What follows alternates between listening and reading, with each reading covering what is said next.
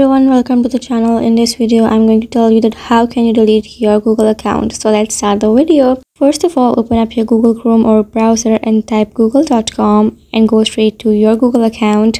Or open up your google account by your google interface. You have to tap on the circle in the end of your website bar.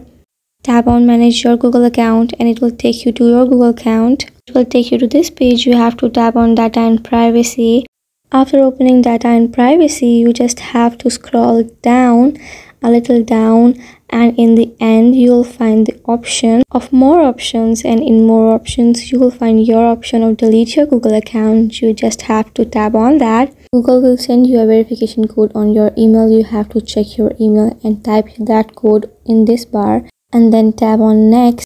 Thank you so much for watching the video. I hope you liked the video and this video will help you in any way by following these steps, you can delete your Google account easily.